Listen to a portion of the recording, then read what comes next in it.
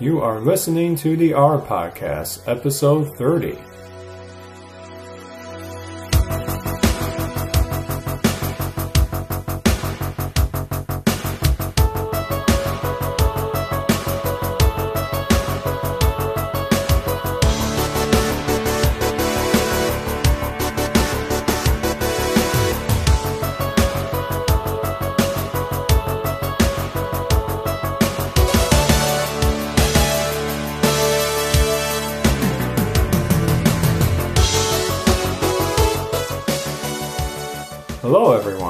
Back to the R Podcast. We are on episode 30, as you heard, and my name is Eric Nantz, and thank you so much for joining me today.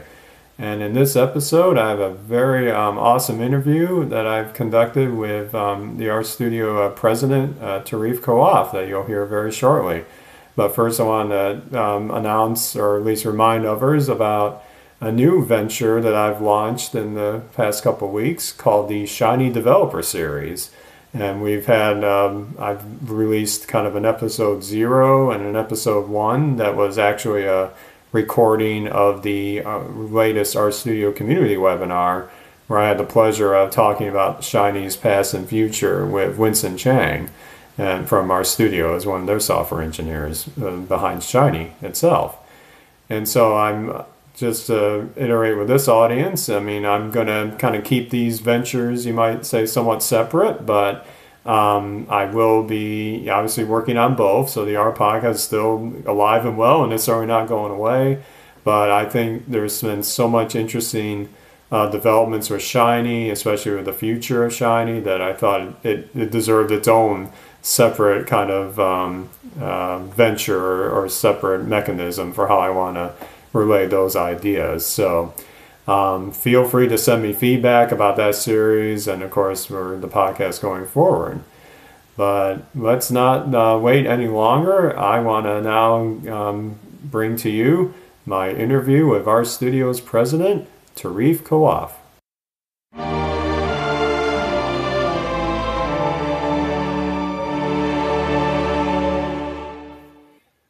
Welcome back, everybody. Um, if you've been listening to the R podcast for, you know, whether it's the beginning or even midstream, you've seen that I've had the distinct pleasure of talking to some very talented people in the community, especially some very talented software engineers from R Studio themselves. But one thing we never really touched on yet is not just the technical developments within R Studio, but more about the business side of it, and especially running a company like RStudio that has such talented engineers that are making these open source packages and what things they do to sustain their business and their plans going forward. So I am very excited to have on the podcast uh, R Studio's president, Tareef Kawaf. Uh, Tareef, thank you so much for joining me oh, today. Oh, thank you so much for having me. I appreciate it. Absolutely. So, um, for those listeners that are not familiar with yourself, um, maybe you could give us uh, a little bit about your background and tell us a bit about how you joined RStudio and your motivation for uh, for joining RStudio. Yeah. So, um, yeah, it's a funny story. I was um, so my background is in computer science and mathematics. I was uh, um, running an engineering team. I was running engineering and operations for an online video platform called uh, uh, Brightcove, and I left the company in December of 2012. And I thought to myself, you know what? I haven't had any breaks. I was my goal was to take three months off and uh, uh, and teach my, you know, sort of retool myself. Right? I was a software engineer by training, and I, I thought, you know what? I had been hearing about this uh, language called R and uh, MOOCs. And so I looked up Coursera, and there was a course on there called um, Data Analysis with R, and it was uh, Roger Peng and uh, the Johns Hopkins uh, team there. And at the time, it was like a six week course. It's now sort of blown up into like a nine part, like nine month uh, uh, certifi- certified track for for that. But at the time, it was a six week course. And Roger Peng, you know, first day he was like, "All right, you know, here's how you set up R, and you can use the uh, you should download the RStudio IDE. But and I was like, all right, I'm just going to use uh, Emacs. You know, so I used Emacs ESS mode because I'm like, whatever. Why why would I want to download one more thing here? So. Um, and every week he would say the same thing. And the fifth week of the course, I ended up installing the uh, RStudio IDE, uh, completed the assignment with that. And then the sixth week uh, was the last week of the course. And interestingly, I had breakfast with JJ um, the week after that and we sort of got introduced through uh, through his brother. And um, you know, my my assumption had been that we are just meeting to sort of talk about potential candidates for him for a VP of engineering position, um, and um, um, and so we ended up uh, talking about company construction and and you know philosophies and whatnot and um, and basically, I walked out of that breakfast thinking, I think he may have just offered me the role to run the company, and and uh, so I had to call my wife up, and uh, that's sort of how the story of, of how I came to uh, to join RStudio in the first place. Well, that's that's quite interesting. So you you came in with, like you said, some software engineering background. Um, just with respect to R itself, did learning R from your perspective seem? Uh, you might hear from other people that come from computer science say that learning R is a bit of a strange task that has absolutely yeah idiosyncrasy. So you sounds like you experience those things absolutely too. yeah. So so I I can relate to that in a, at a way in a way that's that's actually uh, very different than other people. So when I even when I now when I go and talk to customers or prospects, you know I'll tell them listen I come from a computer science background and when I looked at R I was like what the heck you know what what are what are people thinking why is this language work the way it does and it's uh, it's odd, but that you know that was also you have to remember this is pre tidyverse too, right? Um, yes. And so for me, what I what I found really powerful is once you understand, you know, when in, in high school, in college, they sort of taught us this language called Scheme, right, which is a dialect of Lisp.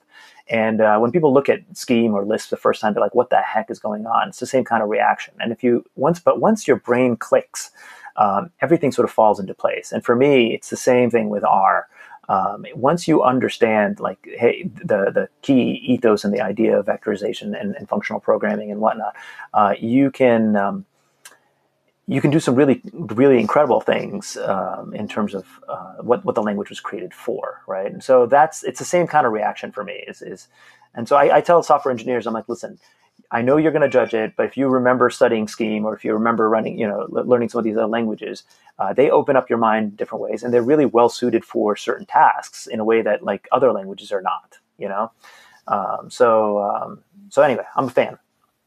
Oh, good. We're, we're in good company then. I've been a, a fan for a long time. That's why I do this podcast because it's a, you know, I've joked in my very first episode to save my dissertation because things like SAS didn't have the right mechanisms to do the analyses I needed to complete it. And then once I saw somebody wrote a package that did the exact statistical method I needed, and I could just build simulations off that, I was like, okay, I want to learn this more often. So yeah, it's a remarkable I, it's a remarkable ecosystem. Eh, but honestly, what's even more remarkable to me is is the community behind it. Like there's, I, I have you know I've been around the block in software field for a very long time, and I, you know, I don't remember uh, uh, meeting sort of this a group of not just really really smart people, but very smart, very humble, very nice, very welcoming. You know that combination is just super super rare, and uh, it's something that I, I, you know all of us at RStudio really really treasure, and it matters a lot to us. And so um, so there's it's you know it's honestly it's a privilege to work for such a community.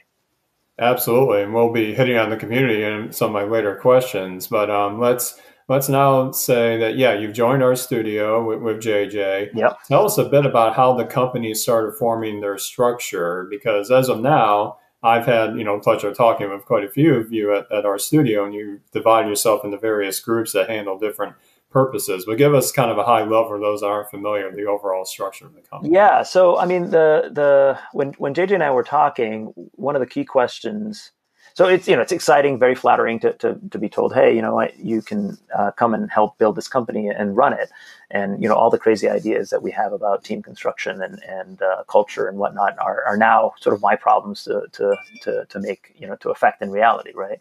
And um, but uh, but one of the key questions you have to ask yourself is like, hey, how do you make money when you're giving away everything for free, right? And so what we decided to do is sort of raise a round of funding um, and uh, and we told our investors that like our goal here is to build a profitable business, right? And uh, and for that, we're going to run what is called the uh, open core play, and and we we believe in this idea of like smaller teams that you know highly, very very talented people. You give them room to operate and and the freedom to sort of recreate amazing things, uh, with hopefully a culture that that allows for uh, feedback, so that you know you, you know nobody nobody's everybody's opinions uh, can be heard. Everybody has a, has a voice to sort of uh, and and you can sort of debate things based on the merits of the data as opposed to sort of positional power, if you will.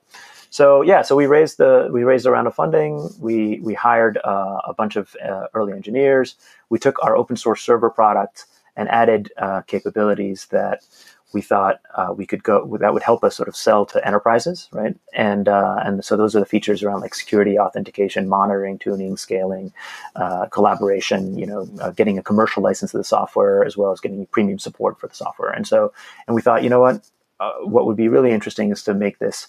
Uh, make make our pricing public. Let's make it super easy for people to buy from us, and um, and you know, and, and see what happens. And so, does that uh, does that answer the question? Yeah, that, that's a, yeah. a, a, good chunk of it, and I just wanted to get a high level as well of what different kind of teams you have. Yeah, so we have a bunch of teams. Yeah, so so over time, like in the beginning, in the beginning, we obviously had v- very few teams, right? Because you basically had Hadley uh, working on um, what is now the the Tidyverse, right? And you had uh, Joe and Winston were working on Shiny, and then you had JJ and Jonathan working on the IDE, right? And that's like very, very, very early days. And then we hired Jeff, and we worked on Shiny Server Pro.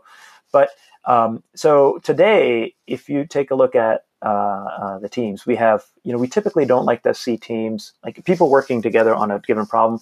We usually are like two to three people working on a problem together um, and they they are loosely in you know sort of loosely federated, if you will, with with a with a larger team. But um, so you know the, the if you take a look at Hadley's team, the Tidyverse, there's like six or seven engineers, um, and and you know usually it's like one to one to two person teams essentially working on on things, right? And um, but they meet together on a regular basis and they talk about it. But that's like that might be the Hadley side of the world, right? And the the the, the Shiny team um, you know, has five engineers and, and they're working on, sometimes they're working on things together. Other times they're just taking, you know, taking a, a feature all the way through um, with a single engineer. Uh, same thing with the IDE, same thing with uh, Connect, um, uh, and uh, RStudio Package Manager, RStudio Server, the IDE, RStudio Server Pro. So it's you know we keep adding as we add uh, studio Cloud right, and the Shiny Apps IO, the hosted team essentially sort of manages both of those. So you know at the end of the day, I'm a big believer in smaller teams, and and and so whenever whenever we need we have to do more work, the key problem to solve is how do you decompose um, how do you decompose the work so that you can have uh, um, you know smaller teams working on the on the subsets, right? And then the challenge becomes how do you sort of coordinate across when when there are cross dependencies. But the goal is to try and keep the cross dependencies to a minimum. Does that answer the question? Yeah, that, that's very helpful actually, and um, I can I can vouch for your ideas of smaller teams. In my experience, even in, in the company I'm at currently, it can really help you focus better and you know network together and yeah attack a problem you know concurrently. It's it's very helpful not to have you know very bloated out teams especially for the the kind of work that you all do. Uh, i'm so in, in, in awe sometimes of how talented all of your engineers are for you know developing shiny which i'm quite biased of as you probably know yep. and uh, i yep. say the tidyverse side of it and and things like that um, so getting back to you mentioned how RStudio is using this kind of open core model with you know releasing open source versions of things like the RStudio ID and of course the R packages that the software engineers are making. Um, in the open source community, I know you your company RStudio is definitely not the first one to do this kind of model. I'm just curious if you've learned from experiences either through the previous startups that you were involved with or just looking at the open source community as a whole have you had any lessons that you've been able to take from watching that and how you've been able to build a business around RStudio?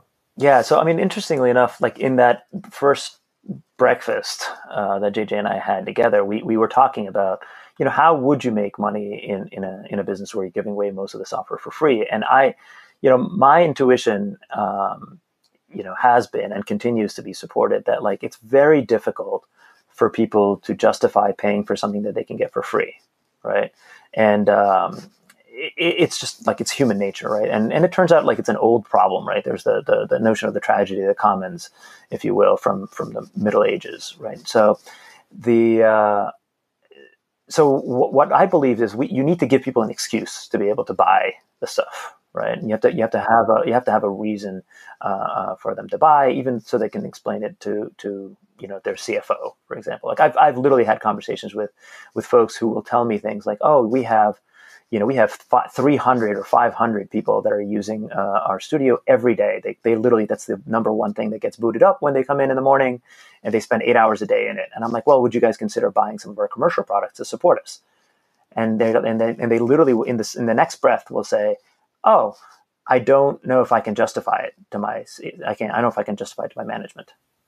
And I'm like, well, you just said, I mean, you just said that you're spending eight hours a day, that it matters a lot to you. You love the company, but, but anyway, so, so getting the commercial product. So we decided like it's, it's, it would be valuable for us to uh, have something that they get for the money. And it's not just uh, support or consulting, right? That's, that was sort of a, an important decision for us because what we thought would be really valuable is to be able to have folks like Hadley and JJ and Joe and you know and Max and Jim. I mean, there's a long list and Jenny like are, are, able to focus on building software and not having to answer, you know, not have to be going, you know, selling their time for consulting, if you will, right?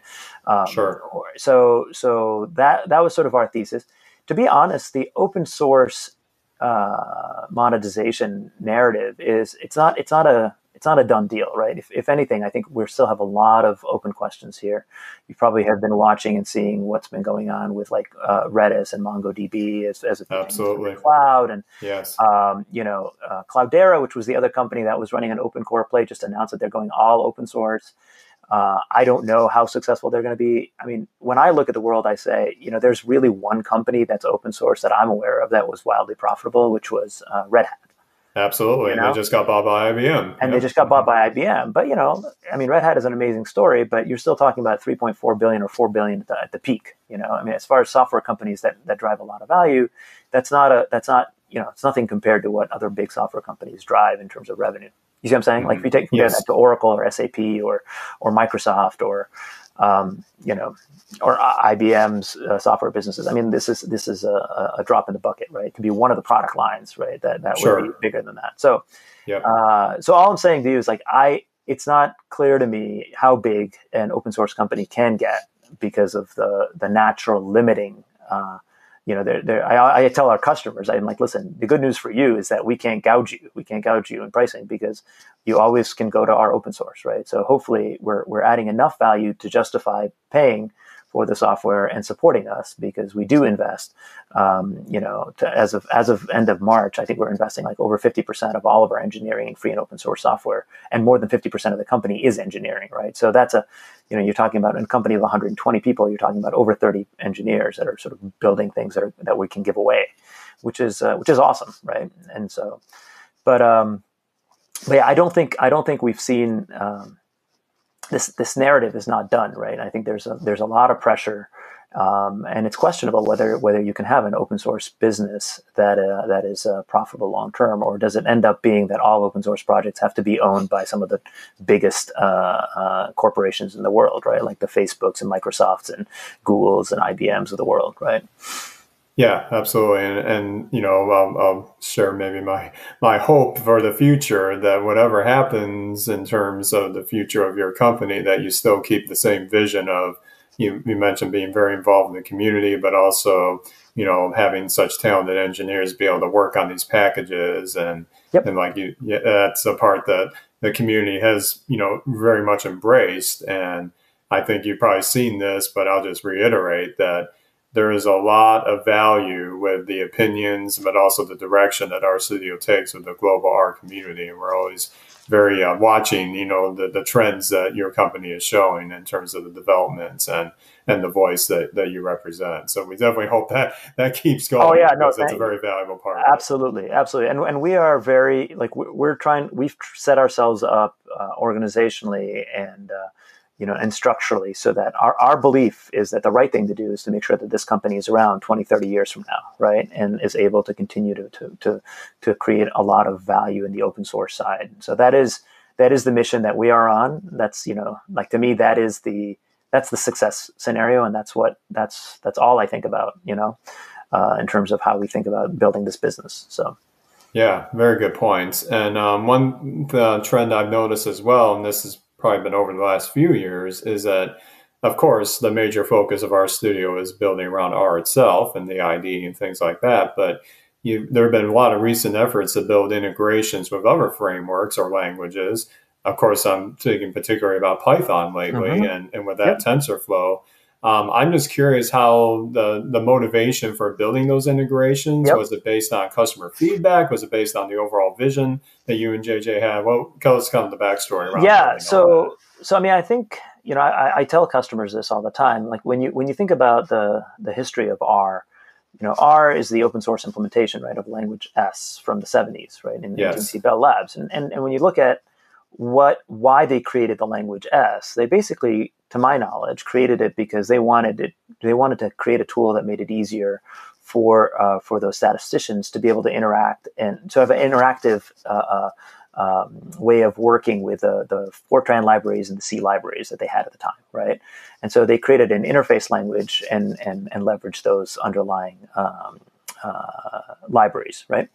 And if you take a look at R and you take a look at like sort of saying let's let's take an example of shiny right so shiny framework in r but it's really leveraging a lot of html css and javascript right? Yes. Um, and if you take a look at um, you know anything that is using rcpp right that's it's just that r is a is an interface language to a whole bunch of underlying systems. And so you know a few years ago we ended up uh, investing in a package called sparklyr. And the reason we did is because we were like all right the R community deserves to have a really good connection into the Spark ecosystem and the power that's inside that, right? And and today you can write really interesting code in R. Uh, it's tidy, you know, literally looks like dplyr code, but at the end of the day, it might be leveraging, you know, a, a hundred node cluster underneath the hood, right? So for for the the the Python work that we did, sort of came along because of the TensorFlow and Keras work that's out there, because, you know, because we're like, hey, listen, this is a whole ecosystem that's really, really powerful. And we're not going to be, you know, we're not going to be foolish about this and say, oh, we're not, we don't touch anything related to X. We're like, if this is, if this is the work, if our data scientists in the R community need to be able to leverage it, then, um, and, and we're in a position to make that investment, let's go ahead and, uh, and make that happen. Right. So, um, and as a as a side effect of doing all that work, you know, we ended up with a reticulate package, which then made it easier for us to extend the IDE, and uh, and so you end up to, to where you are today because we, you know you go into organizations and and um, you know most organizations are multilingual. They're not like it's not R or Python; it's R and Python, right? And so a lot of people ask us, hey, can you can you could you just give us R Studio for Python users? And we're like, well, we're, we're not positioned to be the you know sort of general purpose IDE, but what I tell people is that we've done enough in this uh, 1.2 release to make it so that if if Python is your second language um, and R is your primary language, you don't ha- you may not have to leave the IDE for that. Yeah, it's very, very powerful stuff. And while I'm admittedly not as much of a Python user in my day to day work, I'm always keeping a a bit of a watchful eye on some of the developments, especially when you get to the things like deep learning, machine learning, and, and those um, analysis techniques. So it's very nice that when I am able to have a project that takes kind of the, the best of both worlds, I have a place where I can integrate with that seamlessly and bring that from R to Python and back and forth. That's going to be extremely powerful. And I know I have some colleagues at, at the day job that are doing similar things with that. So we're definitely keeping a close eye on that on that side of it. Um, but yeah, speaking of things like the the RStudio ID and how those integrations are going, um, I've shared this story in maybe previous episodes, but I was one of the very very early adopters of the IDE. I installed it on my home system, and I was like, where has this been all my life of hard code? and then when when y'all released the uh, open source server version, that as a Linux geek, I was like, hey, I can throw this on my Ubuntu server at home and try it out. And then right. sure enough, it worked great. And I thought, well, geez, if it works great here, why can't it work at, at the day jobs? And I got a virtual server and I was adminning the RStudio server open source version at work for about yep. three or four years and suddenly we got so many people using it that it was kind of getting over my head a little bit. And luckily, that's when you all had the the professional the pro product. Yeah. Yep. So RStudio just um, you all had a, a very um, comprehensive release version 1.2, and there's a lot of awesome features that I've been reading about and haven't tried all of them yet, such as the remote launcher and the integrations of other languages. But maybe give uh, our listeners a bit of a snapshot of this release and also what kind of things that may be in the future for the IDE this year. Yeah, so I mean, this is a this has been a massive, uh, massive release for us. Um, so we, I don't, I don't, know, it's been over a year worth of work uh, getting it out, but uh, but you know, you sort of touched at one of the largest uh, changes on the commercial side, on the pro product side, uh, which is the the introduction of the launcher, and this is sort of a technology that we um, we, we introduce it's going to start out in the IDE, but then ultimately make its way also into Connect and uh, and Package Manager. But essentially, you know, historically, if you've if you've used any of our server products, you know that like when you when a when you make a connection to that server from a browser, right? Let's say you're, you're looking to connect to RStudio server, right? That our process will start on the same machine that received that request. Correct. Right? Yeah. And so when you think about trying to scale, you have to sort of put a load balancer, you sticky load balancer, you add extra nodes, and and that's how you would sort of scale if you wanted to have more and more um, uh, folks sort of using uh, R. And um, one of the things that we had heard very early on in my conversations, uh, particularly in the pharma uh, industry, was that they're like, listen, we have you know, we have these grid engines out there, and we really want to be able to use these grid engines and and so on. And uh, we said, hey, we'll, we'll get to it eventually, and and that eventually is today, right? So basically, now we have the technology in place that allows you to configure RStudio Server Pro um, with with different um, uh, backends. And so we'll sh- when we start out, you know, you'll you'll start out being able to sort of connect to, to Kubernetes, for example, which is um, which is a, um, a distributed uh, system for uh, uh for job handling, so it's a job orchestration layer, and um, we'll add uh, Slurm and maybe LSF and maybe SunGrid engine over time. But uh, the idea is that these are this is built in a pluggable way, so people could sort of write their own plugins if they wanted to. If they're their favorite uh, orchestration layer, and then you know this this new world sort of become you know i tell people now like if you if you fast forward 18 to 24 months or maybe it's two years to three years uh, i imagine most organizations will have like maybe two R Studio Server Pros, two R Studio Connects, and two R Studio Package Managers, and only and you only have two of each because of uh, high availability but fundamentally you're basically running all of your compute in a more centralized way. You're managing your your nodes of, and you're sort of you have these elastic workloads that are sort of coming and going and you know i think that's the future that we're sort of uh, uh, moving towards. So that's that's that you know that's the centerpiece if you will of the commercial uh, uh release of the RStudio server pro. But but the open source side obviously and it, it, sort of inherits everything that comes along with the open source uh, uh, release as well and uh, but and that was a monumental release for us, right? So it, you know whether whether it's the the Python support, the adding sort of support for D three, uh, uh, SQL support, Stan support, um, improvements to uh, uh, adding like the, the jobs pane stuff.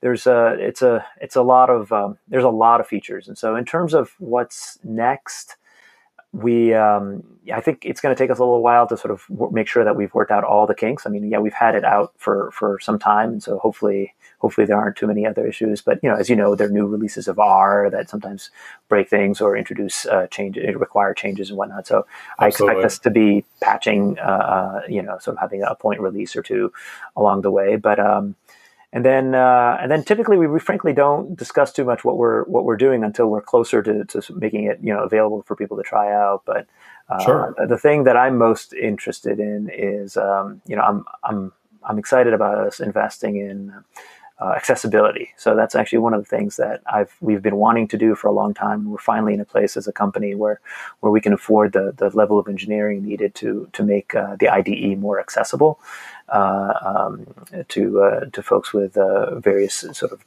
disabilities. And so my hope is that. Um, that will get going on that side. I don't know when that will land, mind you, but but it is something that is sort of like a big um, a big, hairy, uh, uh, and audacious goal for us is to, to make this uh, better for everyone. So. Yeah, that sounds really exciting, and I know that's quite a challenge, technically speaking. And like you said, having the the right uh, engineers in mind to um, work on that kind of feature. I know in other languages or other um, products, it's very difficult sometimes for for those with you know vision issues or things like that to really use your ID those products effectively. So yep. I really appreciate the the focus that y'all will have on that. Um, I have a bit of a maybe a, a bit of a funny uh, anecdote here to share. Um, speaking about Shiny itself, and of course our, studio, you all have the um, Shiny Apps IO service and the Shiny Server Pro and, and studio Connect that handle Shiny apps, but I've heard from reliable sources that in the very early days of Shiny, that you earned the reputation of being Mr. Shiny. Oh, and I, as a as a shiny, you know, a big fan. Of course, I I launched the shiny developer series very recently. I gotta know what's the what's the backstory about Mr. Backstory shiny of Mr. Here? Shiny? Yeah, yeah that's yeah. the oddest story ever. So basically, what I so I like I said, I joined the organization in 2013. We we built it. We built out a team to sort of tackle different, uh, um, you know, we were working on Shiny Server Pro and RStudio Server Pro. And then one of the ideas that we had is like, you know what, let's build a online service that really makes it easy for people to deploy those Shiny applications, right? So almost think of it like Heroku for Shiny, right? Yes. And um, and at the time, you know, there's one engineer, and like I, I was basically doing uh, support, gathering feedback, etc. Right? Like I was like the other person on the team, and so I I just got good at being able to answer questions. And uh, and then one of those days, uh, some gentleman, I don't know, I think he's somewhere in East Asia or something. He sent a note saying, dear Mr. Shiny, can you answer this question for me? Right. And then, and, and, uh, and so like, you know, so immediately like Andy, who, who was, uh, the lead on the Shiny apps, IO, you know, sort of, you know, puts it out there on, on our, our, our, our, um, um, our message or email or something like that. And, and so people started jokingly calling me Mr. Shiny. And so now on our you know on our Slack channel, if you put you know colon Mr. Shiny, my face pops up. I joke that it's mostly because I'm a bald man, you know. So. Um, well, it never hurts to have a reputation that reflects both uh, appearance and technical ability, right? exactly, exactly. So that's the that's the inside scoop on that. Very cool. Very cool. Yeah, I, mean, yeah, I, I, I, definitely don't deserve it in terms of any work on building Shiny or improving Shiny. well, but that does uh, does remind me a bit. I've heard um, again from very reliable sources that you are one of the most talented data scientists within RStudio. Oh, that's not true. That's not true. Yeah, Hadley. So what? I think it depends on what you. I think I'm one of the. I, I was one. I'm probably one of the people that most tries to leverage our tools to understand uh, our data, right? So if you think about, so I starting very early on, um, this is this was my first gig as a as a president of of a company, and so uh, I think the board was understandably worried about having, you know, just put money in, and they're like, "All right, well, we need to talk to you every six weeks." And so, um, normally, most companies historically, you meet like once a quarter, right, with your board. But I was meeting with them every six weeks for the first, I don't know, uh, six, well, maybe it was nine months or so of that. Okay. And so JJ is like, you know what, you should really learn R Markdown and um, and um, you know do it as IO slides. And so I started playing with that and i really i really liked it as an idea like i'm like this is this is really cool because you know remember i'm a, I'm a software engineer at heart right i'm a, mm-hmm. and so this was a chance for me to touch code and say that it is part of my job right um, and so I ended up, you know, you get really attracted to it. So I started building uh, the dashboards that way, and then um, and then when we had Shiny Apps IO coming out, we're like, oh shoot, we need an admin tool. So I looked at the Shiny dashboard and I built a Shiny. So we still use the Shiny dashboard that I created um, to sort of like manage like oh somebody's account got locked somebody needs to be have extra hours added to them or you know um, and that's still the same shiny application that we cre- uh, that I created like three years ago. So I am willing to dig in and and play with um, with R and with our data and, and understand it. And I, and I've you know I, I think Hadley has gotten his fair share of particularly in the early days of dplyr i'm like well this doesn't work. This doesn't make sense to me or whatever right? So um, so I'm, I'm still i think a pretty good uh, proxy for like I'm not as smart as our community is. To, you know, so I don't have PhDs and or masters in, in statistics or whatnot. And so I feel like if I can't use it, then then it's not as easy as it should be, right? And so it ends up being, uh, you know, um, Yihui calls it the t-test, right? Does it pass the, does it pass the t-test? Uh, so when he builds something, I'm like, okay, I tried it out. I'm like, Yihui, this doesn't make sense. He's like, okay, so it doesn't pass the t-test. I have to go back and, and make a change to the interface and so on and so forth. So, um, so I, I have a, I love, I love the, um, like the reason I took that course with Coursera in the first place was that I have uh, I had a very strong belief, and it's only gotten stronger since then. That like you can't really be a very good leader, certainly in, in, engineering and operations, and not know how to slice and dice your data, right? Not know how to, to how to understand it, how to visualize it. Um, and I would now extend it to say, like, you know, y- you can't be a really good leader of a company if you don't understand uh, the, what your data is telling you, right? And so having that discipline and comfort of being able to dig in and ask those questions and see if you can convince yourself of that, and uh, having that level of data literacy, I think is is really really important and, and that's what i'm excited about is like let's let's make these tools really easy for people to use and r is uniquely positioned because of its power in terms of uh, uh creating dsl's right i think you can you know the tidyverse if i had seen the tidyverse first uh, I think I would have fallen in love faster with R. You know. Yeah, well said. Probably similar for me too. Where it was, I, I still needed it, like I mentioned earlier, to complete my dissertation, but the learning curve was immense, especially as somebody that comes from a background of little Perl, little PHP, a little, a lot of SAS, ironically enough. So that transition was ugly, I'll just say. so, so yeah, the tidyverse is really a nice gateway to, to see the power of the language in a more expressive kind of interface. So yeah, I fully agree with that. Um, so yeah, that, that's that's some really excellent points, and I just want to mention that yeah, these tools that are offered to us, and again, getting back to Shiny for a second, I've been able to use that to do similar things to what you're doing in the sense of, you know, every company does have a boatload of data that they can use to, you know, look at metrics or how things are performing, looking at talent, things like that. And just the, the power of Shiny with automated reporting and the inter- integrations you can, you can put in with other languages, that has really helped me, you know, share with leadership where I work of how the power that we can have to interpret this data and get meaningful results to to our executives. Yeah, and and and honestly, yeah, honestly, and the other thing is, I don't. I mean, I don't know how much you've done this, but like, I love.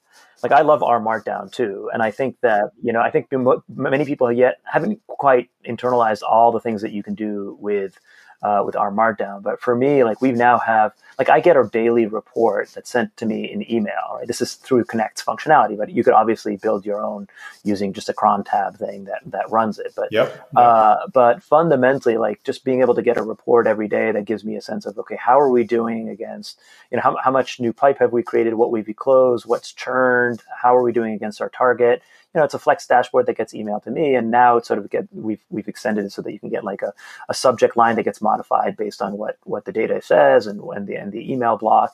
So, I mean, to me, that is really, really amazing when you think about the fact that it's all code. I can read it. It's all versioned.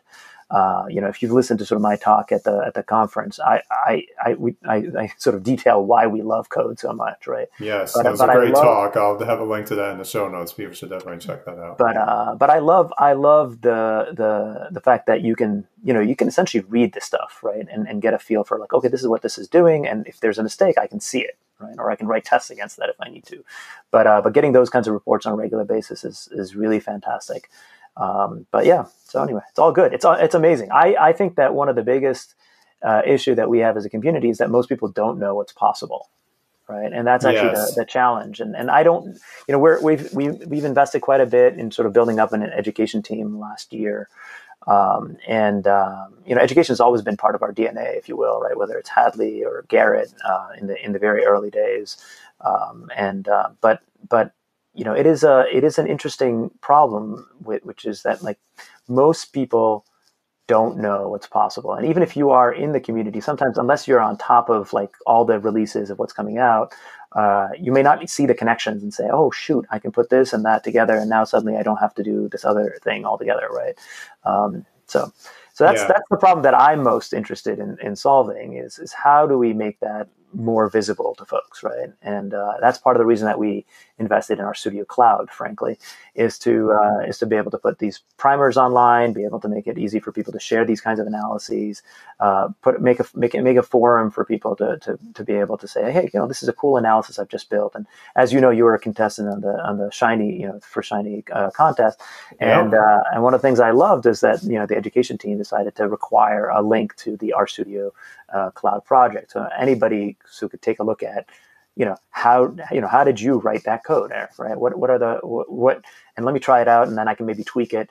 I I want I want the I want people to have sort of an easier way to get in and play with it. That's that that whole feature came about because of a of a blog post I read on R-bloggers, I don't know three years ago. That was something maybe it was two years ago. I can't remember exactly. But somebody had like an analysis showing Steph Curry, the basketball players. Oh uh, yes, I remember seeing chart. this. Yep. Mm-hmm. Yeah. So I saw that. I'm like, oh, that's awesome. I want to build a shiny application uh, uh, for that, so that I can you know substitute different players, right? And I started trying to get this up and running on my machine. And here's the GitHub repo link and so on and so forth. But like I had to install all these packages, and I I, I, I screwed up. Like one of the packages had to be installed from from GitHub, and something screwed up on my machine. And I'm like, man, this was you know I spent half an hour and then I couldn't get it all up and running. Uh, uh, I eventually got it up and running, but it was just such a pain. Now compare that to a world where I can just get a link, I open it up, I get this Docker container that has all the things in it, and I can start playing with it immediately. That's that's exciting to me. And I think my hope is that once we get RStudio Cloud to be, you know, get it out of alpha into beta, may open it up to even more people in the world, um, that that that will sort of spur more people to sort of share all these cool ways of, of working with R and what you can what you can accomplish with it. Yeah, it's a testament to sometimes it's not enough just to share code on GitHub per se, but having that environment where I can go to one of those contest submissions. And again, I've, I mentioned it in the Shiny Dev series, but those submissions have blown my mind. And I have like 10 or 20 ideas that I want to kind of leech off or you know, borrow, be more polite about it, um, right. for my work in the future, but be able to, like you said, tweak it in, in the cloud instance and not have to worry about, oh, I forgot the dev tools version or the exactly. development version of exactly. DT or, or one of the other uh, more um, niche packages. So it's been very helpful for learning. And I certainly hope that, yeah, the RStudio Cloud product is is continuing the momentum for kind of, like you said, that awareness piece of being able to reproduce these environments. Yeah, no, it's been it's been great. Honestly, you know, universities have sort of been running with it, and uh, you know, even though in the early conversations, they like some of them told us, "Oh, we would never run an alpha product," but now some of them have now run two semesters worth on the alpha product. Yeah, you be be careful what you wish for, as they say. Where yeah, you put exactly. out a great product, even at the yeah. early stages, and of course, I was one of those with the early stages of Shiny when it was definitely not much for production use yet, just due yep. to the, the way it was working. But I was yep. like, I gotta try this out because the, the gains far outweigh the cons at that point, and now right. of course it's much more right. suitable for production. Right. Um, that see, yeah, this is what I'm fascinated about in terms of what your company is doing with these different products that kind of touch many different aspects of data science and, and infrastructure and reproducibility. I, I could use a lot of adjectives here. Yeah. maybe um, give our give our audience a bit of a idea. What else is kind of on the roadmap with respect to, like I said, this business and commercial side of RStudio? Yeah, so how you will be offering these products to customers as we go forward. Yeah, so I mean, we in October of last year we released a product called RStudio Package Manager, and, and the idea there was that like we saw some organizations sort of essentially struggling with how do you how do you keep things up to date? How do you manage uh, uh, uh, how do you manage dependencies? You know, the IT team typically doesn't really want to know a lot about R. They just they're like, this is so weird. It's so different than what we're used to, and it's because they're used to you know like they have people that use Python. They don't have enough people that use R. And now you're talking about putting R in production. So we so we created that product. Uh, we actually recently also created this uh, uh, website called environments.rstudio.com to help people sort of think about um, you know packages and package dependencies and repositories and, and different paths of like what are the what are the ways that an organization can um, uh, can be thinking about um, installing you know using rep- repositories within within those organizations to, to sort of um, manage reproducibility and so on and so forth. But so we created that in october and then we, one of the thoughts that we had is like wouldn't it be nice for people to just be able to get a bundle of all of these uh, uh, products together? And so you know in in the coming weeks we're going to be announcing uh, the RStudio team uh, bundling of our products. And the idea there is that you can come in and sort of essentially get all of our pro products in a, in a discounted price. So hopefully, if, as people are sort of more committed to R, they can they can uh, get going with uh, with this full suite. Um, we also, in our conference, had announced that we had extended RStudio Connect to be able to support publishing of uh, Jupyter notebooks and uh, reticulated uh, Shiny applications and R Markdown docs. And so the idea here is that if, if you have an organization that has uh, a mix of R and Python users, you don't have to decide whether, whether you know, like you don't, you, you, you can have a one publishing platform for both of them. And so that's, uh, so our, our hope is that this will make it easier for people to adopt this on, on, on an organizational level and uh, and get that going. So I'm I'm pretty excited about that. I think it's going to uh, make a big difference. And obviously, the launcher, as I mentioned earlier, is going to be uh, opening up this uh, this whole new vector. And as part of that changes, frankly, is, is it's going to move us more towards a, user-based pricing model, which I think is, is ultimately going to make uh, life easier for everybody because uh, the alignment, like the notion of servers is basically disappearing in this new world order that we're living in with Dockerized containers and elastic computing infrastructure and so on and so forth. So I think that hopefully will tie the value more back to, uh, uh to the key constituents and, and, you worry less about uh, uh, servers. So that's, those are the big changes that are coming down the pike immediately. I mean, there's a long list of uh, our backlogs are uh, seemingly infinitely long. um, but uh, but uh, yeah, the the for the next six months, I think I would I, our focus is going to be much more about like uh, spit and polish, making sure that we sort of um, uh, address you know the uh, the rough edges where they are. You know, get RStudio Cloud out of alpha into beta. Um, you know, where we rev RStudio Package Manager and Connect pretty much every six to eight weeks, and so they're, they're, these are it's a rolling thunder there, if you will, of, of changes that are coming down the pike. But I think the big change for organizations is we're going to make it easier for you to be able to buy uh, the whole stack together. Yeah, this is an interesting um, uh, shift because as you're obviously well versed in, in the, the trends and the in the technology, especially with with cloud and these elastic type services and, and Docker, you know, Docker being very prominent for containers, that it's not a lot of organizations, um, you might, maybe the bigger ones, maybe even the smaller ones are taking this hybrid approach where you have a mix of on premises infrastructure, especially for situations where you have to keep data or keep analysis results within a firewall, but then be able to have the flexibility of spinning up instances in say Amazon AWS or Google Compute, whatever the or Azure or whatever the frameworks are. And it sounds like this new kind of focus on on this um, way of getting this collection of the enterprise products that you're offering without being tied to a specific server is really meant to adapt to this newer kind of this newer hybrid approach that a lot of exactly. organizations are going. That's exactly right. And I think okay. what's one of the things that's really interesting for me is when I first joined uh, you know, we'd have conversations with uh, with prospects and customers, and like, oh, our data will never leave our firewalls, right? And now what they've done is they've sort of redefined the firewall to mean the VPC. Yes, VPC. And so, exactly. and so you can, and so, and so, you know, you want to be able to get the full power of the cloud, uh, but you're still probably going to run into VPC. And so, what we're trying to do is just make that easier and easier for you. Actually, and over the last year, we've sort of introduced um, Studio Server Pro into all the major marketplaces online, right? So it's you know um, Amazon, uh, Azure, and uh, and Google, and we just recently sort of got uh, Connect up on uh, on two out of the three, and we'll, we'll add the third one shortly. And so over time, our goal is to just make sure that our pro products are available to people where where they are, and and obviously the pro products are meant to make the IT team's life easier, and so hopefully that will uh, drive them to say, you know what, yeah, I could maybe do this extra work and try and get everything up and running myself and maintain it myself and so on and so forth. But I believe in this company. I believe, you know, I, I want them to be be investing in the open source uh, uh, packages that we use all day long, and so this is a good way for us to support them and save ourselves a whole bunch of time and effort, uh, and have someone to call at the end of the day. And so that's that's the thesis. That's the game that we're playing, and and so far so good. You know, I mean, we're we were uh, up to about 130 people now, which is which is awesome, and and we're still off of that first round of funding. So, um, so that's been uh, that's been really good. That's that's great. Sounds like yeah, the future is looking very bright, and um, hopefully, um, you know, the organizations that are going to be investing in the, in the products you offer will be able to transition to this new approach smoothly, and that no matter the size of the organization, whether it's a very, very large enterprise or if it's a more nimble startup that's doing a lot of data science, but not a lot of, like you said, IT support or, or engineers that can help with adminning that on the nine to five kind of you know uh, time scale. That the, there's a good balance of how these products offering to minimize the footprint needed for an IT department to put this at scale.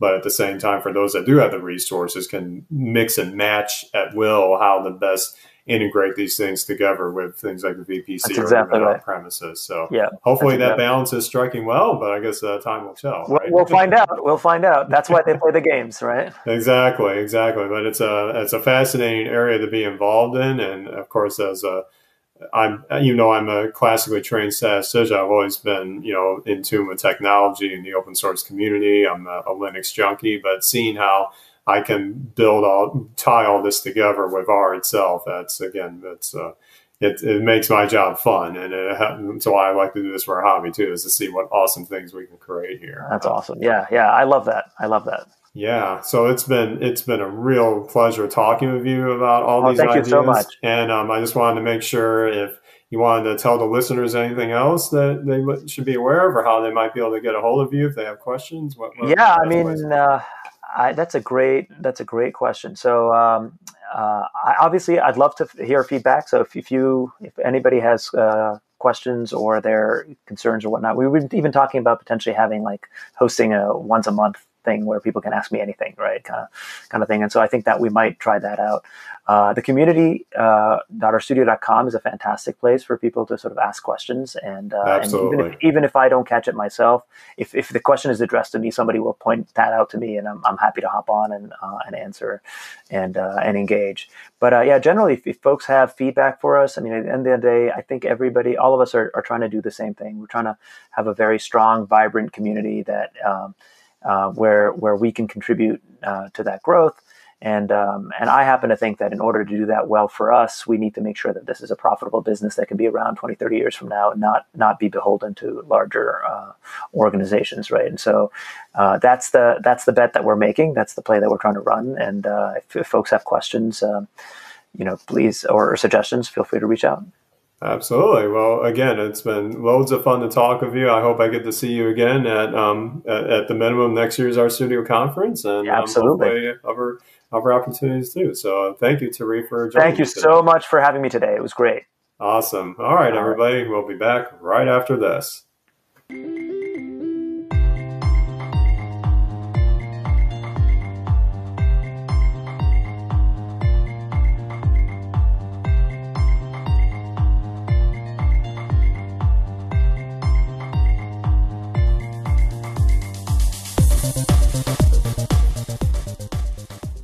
All right. Well, my thanks again to Tareef for taking time out of his very busy schedule to join me for that special um, interview. And it's one of those things where you you think you know some parts of how things work or some background, but there's always so many other things you learn about the makeup of a company like RStudio that's heavily, heavily leveraging open source and building a business around it. So really some fascinating tidbits in that in that discussion. So I really hope you enjoy listening to that. Um, as always, if you have feedback for the show, you can uh, send your feedback through the episode's post on the R Podcast website. That, of course, is r-podcast.org. I'm also trying to be a little more active on social media, so if you want to send your, your feedback on Twitter, feel free to find me with the handle at the Rcast. And also, um, if you have ideas for future guests that you'd like me to try and bring on the show, or um, if you want to be on the show, um, definitely, like I said, fill out, uh, send me an email at thercast at gmail.com or fill out the contact page at r-podcast.org slash contact or reach out on social media. I'm always, um, one of the biggest pleasures I have with this podcast is connecting with the community and you know um, sharing ideas and learning from all of you. Okay with that that's going to wrap up episode 30 so until next time. End of line